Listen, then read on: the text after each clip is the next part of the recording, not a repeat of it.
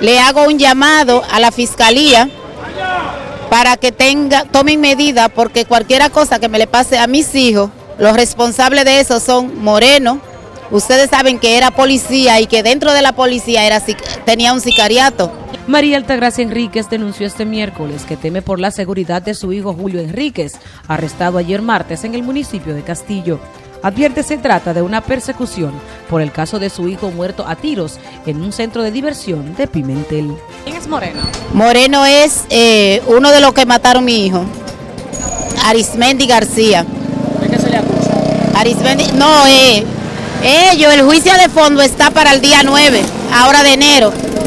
Y como ya salieron de Wanderson, mi otro hijo que mataron, que ese era el testigo principal, y Julio, ahora ellos quieren salir de Julio.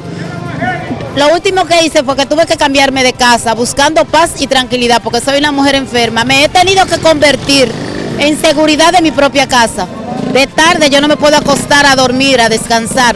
Tengo que estar en la galería chequeando todo. ¿Entiende usted, señora, que se trata esto de una persecución?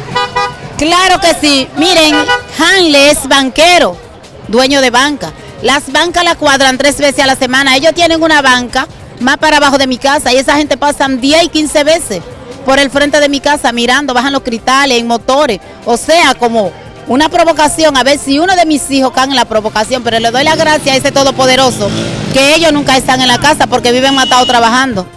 Para NTN, su noticiero regional, Joanny Paulino.